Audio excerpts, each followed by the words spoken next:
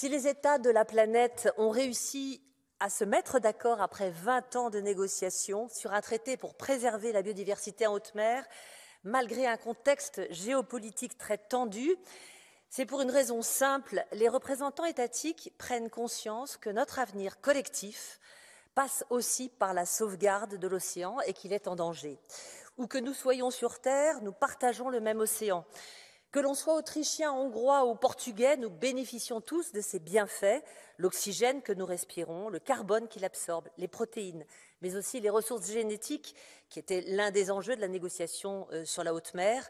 L'océan est notre bien commun et le préserver et le régénérer est de notre responsabilité individuelle et collective. Alors responsabilité à l'échelle globale et je voudrais saluer l'engagement de la Commission qui a contribué à l'obtention de, ce traité, mais aussi à l'échelle européenne.